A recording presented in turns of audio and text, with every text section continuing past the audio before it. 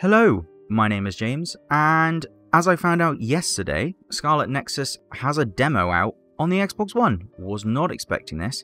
Apparently, the PS4 version is getting a demo next week, but because of Microsoft's deal with Bandai, the game's coming to Xbox out on demo first by the sounds of things. So yeah, I don't really know what the demo has to offer, so I'm just probably going to measure some bits of whatever my PlayStation is. By the looks of things, we may have access to both characters.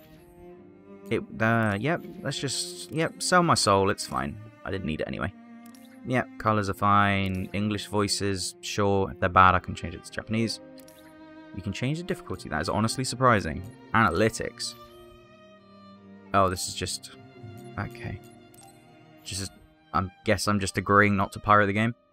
So there's three difficulty menus, uh, options, easy, normal, hard, auto lock on, mini-map display and rotation, subtitles, camera sensitivity, I'll probably play around with that. Pretty standard controls, nothing special. And then you've got all the attacks and whatnot. So I guess let's just jump in and see. Okay, great. We do get to pick which character we want to play as. Yuichi Sumeragi. I'm not going to read a story. I'm just going to jump in and see how things go. Okay. Move with left stick, control camera with right stick. Pretty standard controls. I imagine it's not going to be anything abnormal. Let's change camera settings over the main menu. Oh, this feels wrong. I don't know how to describe it. But the character feels heavy. So, okay, so you're talking. So, instead of the character moving the second you press the button, it moves like a moment after. So, for instance, if I touch it now, he'll just turn around. If I hold it and then he'll run, it feels wrong. Not a great start, but maybe you'll get used to it. I don't know. Okay.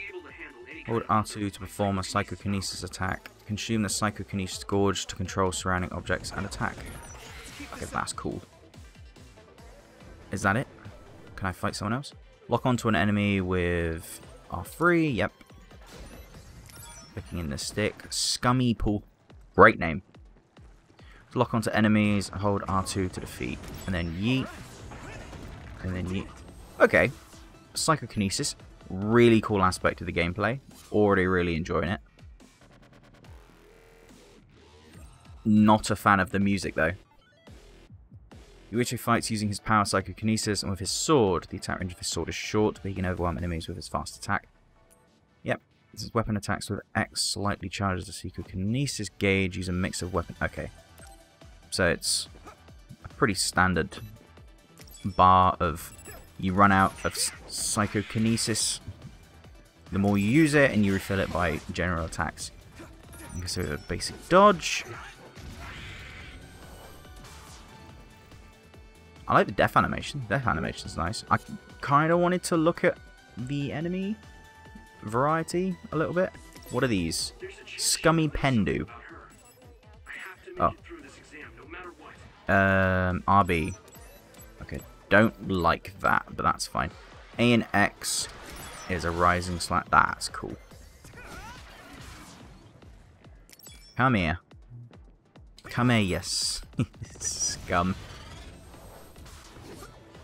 So, the combat is definitely going to take some getting used to. See, what I was expecting was something as fluid as something like Devil May Cry, because obviously Devil May Cry system is amazing. This is a little bit heavier, and like I don't hate it, but it doesn't feel amazing. Like, I'm hoping... Like, I want to say it's just the demo, but I mean, it's a demo of the final game. I definitely think the psychokinesis idea, though, really cool extra. And I definitely can see some cool, like, combo showcases going off from it. Okay, there we go. Okay, so we've got just general conversations, brain messages, we've got story paths, the brain map, which is the massive node tree, which um, I don't think we've had a look at as of yet. The brain map shows you what skills you've learned and allows you to earn new skills by using BP. Let me have a look. So we've got enhance, expand, support, and brain drive. I think brain drive is like the rage mode. Increase damage out to enemies that are knocked down. Attack 5%. Do I actually have any BP? I have 10! Look at that! Hold minimize perform a downward. That looks amazing. Yes, please. Slam attack. Uh, boring. Can perform three consecutive psychokinesis follow-up attacks and rush follow-up attacks. Ooh. Go on then. Form an aerial dash. Shots cooldown. Brain drive attack boring.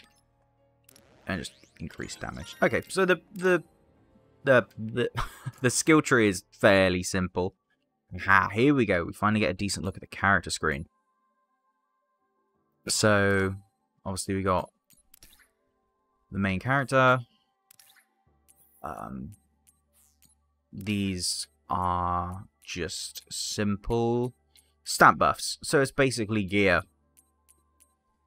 Pretty much what I think... Oh, oh I don't have any owned apparently. Okay. Yeah, pretty standard. I think that's what most people were expecting. Just simple plugins. I was kind of hoping it would be more like NieR Automatas, but apparently not. So we have our teammates as well who also have different stats. This I was not expecting that, honestly. So we can get different weapons and different stats and gear for our party members. Interesting. I did not expect that one. You are literally just using a pair of weights. Okay. And visuals. So... That's just visual stuff. Oh, Okay.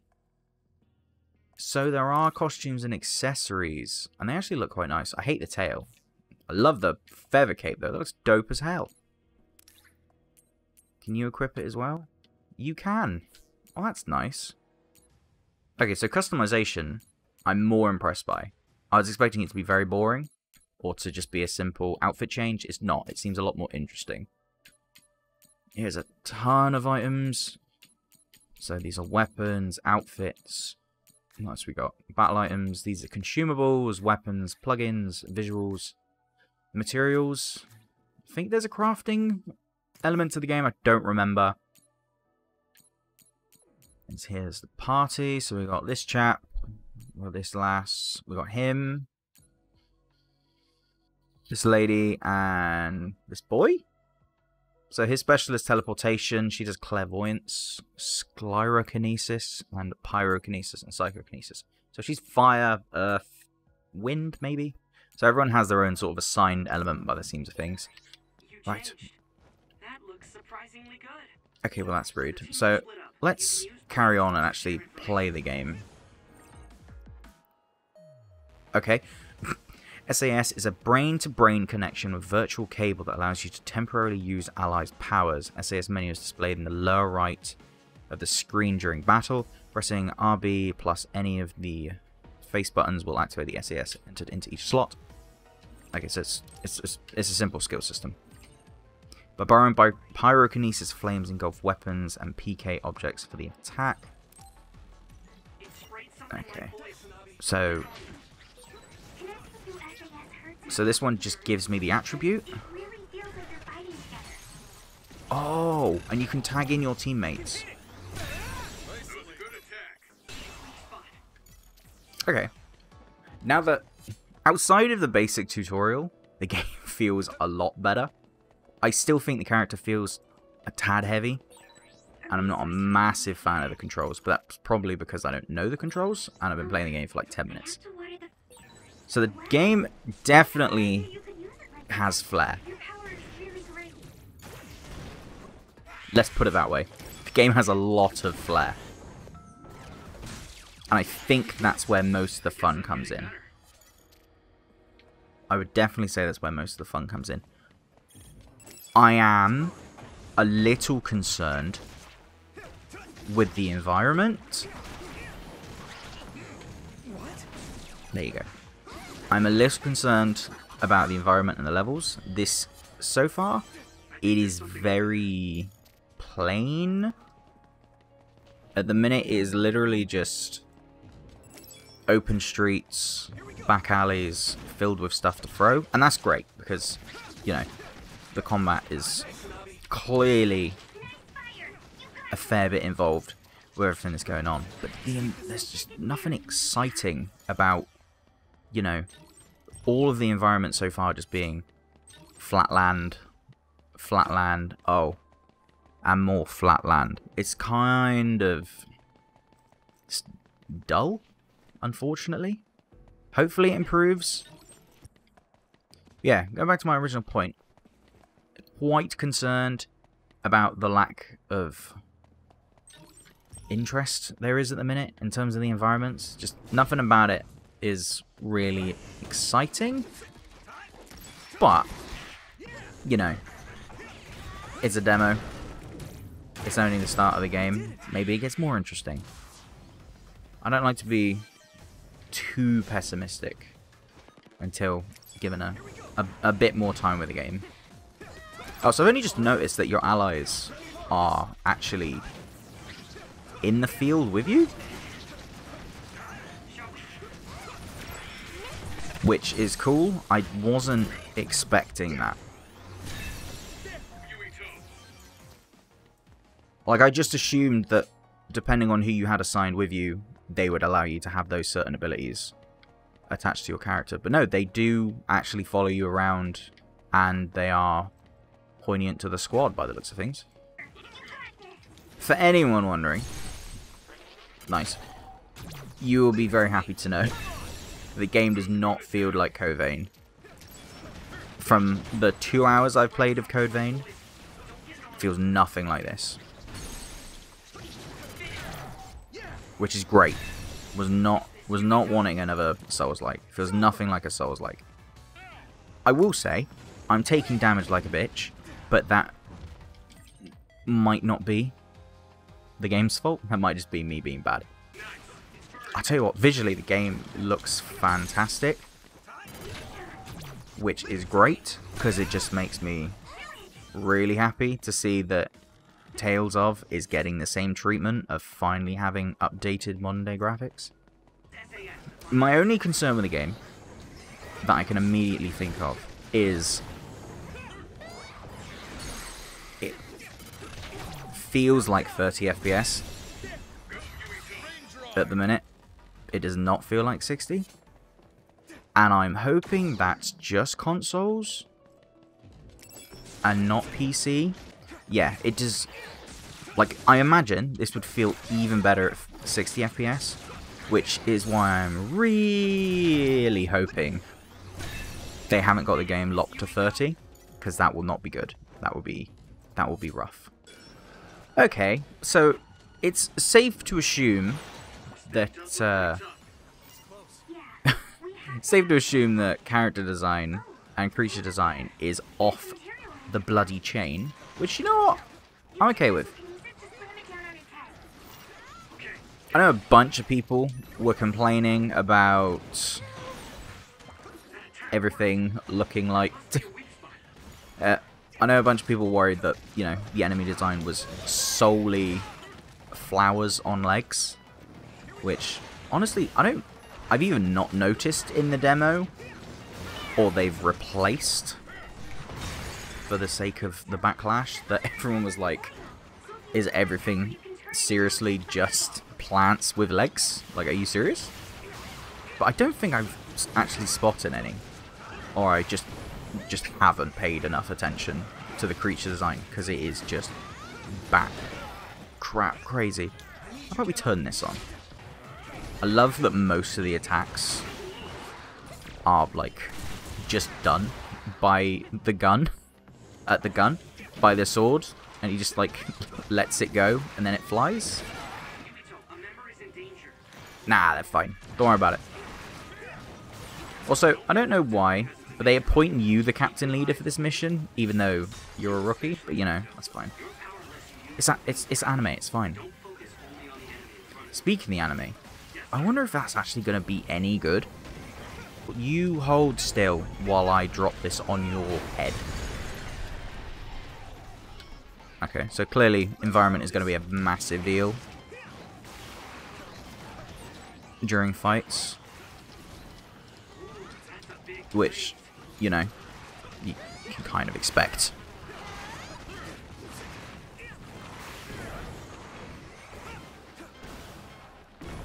And throw it again.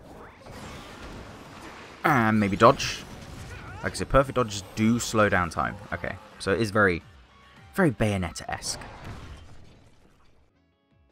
Right. For the sake of, you know, seeing if the two characters are actually different from one another, I'm going to take a quick look at Kasane's side of things. I'm not going to go through her whole thing until the very end, otherwise Otherwise the video will be unnecessarily long just for a bit of information. But it sounds it looks like she's got some of the same characters.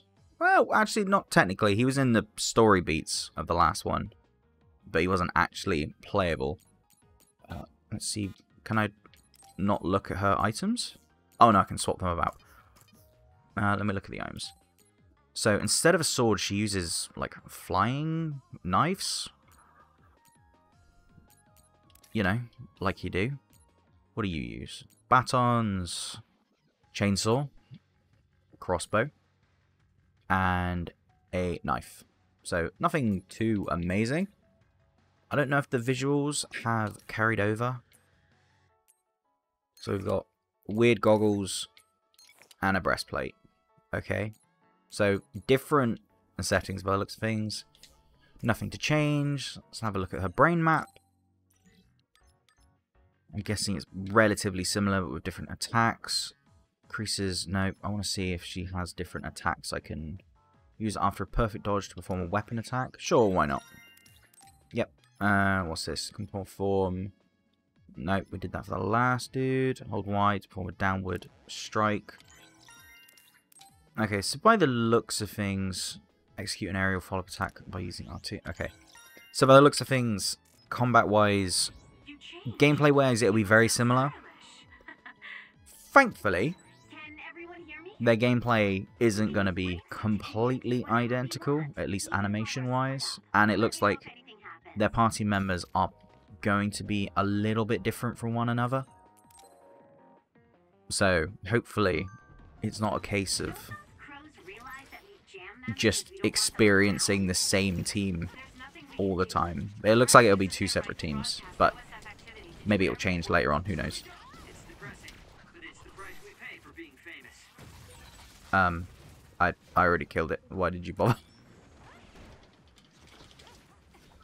So the knives seem to have a bit more range. SAS is a brain yeah yeah yeah I know I know I know I know. Right. So what are my options? Um, electrokinesis Kasane. So instead of fire, it's electric. Oh.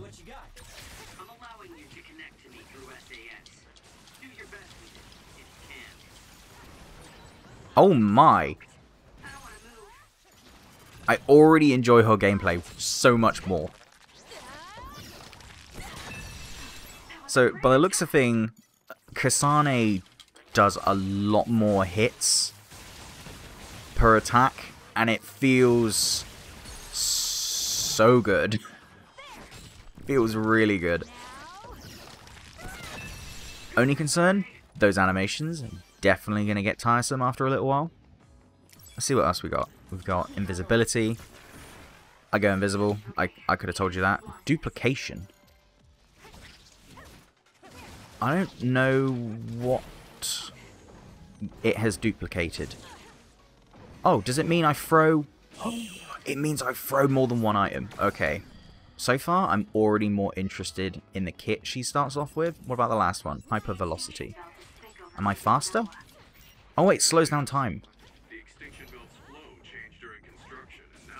This, uh, honestly, her gameplay is way more fun.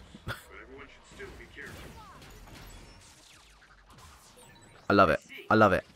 it feels so much better, better playing as Kasane. Like, don't get me wrong. I can't remember his name. Randall? No, that's her surname. Disengage. I have a little bit difficult to judge distance, but that's just because I'm bad. Yeah. Don't get me wrong, the other kid was fun to play. Hers is definitely more fun, just because of, I don't know, how many extra hits she does as a result. And also her starting squad. Quite fun, I must admit. Also, she has a double jump. I don't know if the last dude did. Maybe I just didn't press... Oh.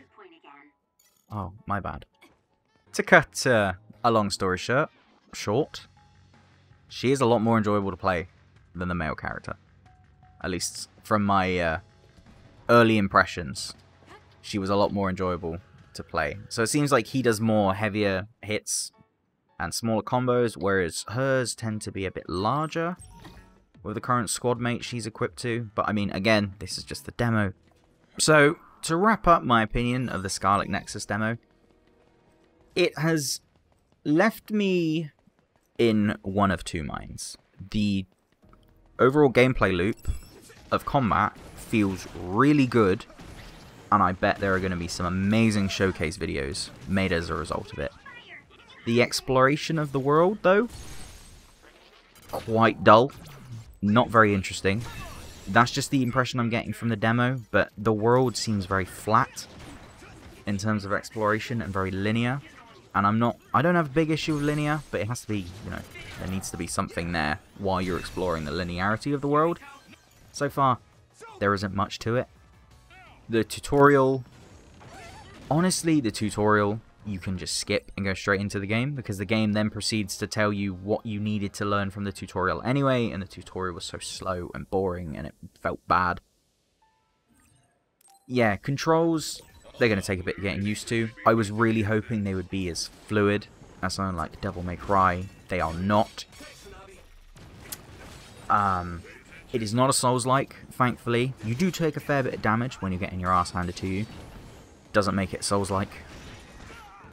So glad it's not Souls-like. The character customization seems relatively in-depth. That was surprising. It seems like there's going to be a fair amount of costume options, which is going to be quite nice. There is going to be different weapons to equip, as we already knew. Didn't know the party would have different weapons to equip, though. So that's interesting. They're out on the field with you. Again, surprising. Wasn't expecting that. And lastly, I would say, is the skill tree. Um, it seems relatively simple and basic and easy to get to grips with. Nothing too impressive, it's just your simple, here you go, get this, do more damage, or here, get this, have a new skill, enjoy yourself. It's relatively simple, keeps keeps things exciting, keeps things moving without being overly complicated, which is kind of a shame, but it's to be expected. The story, honestly, I wasn't paying too much attention to the story, mainly because I don't care when it comes to a demo it doesn't matter. I'm here for the gameplay, first and foremost. If I don't like playing the game, I'm not going to care for the story.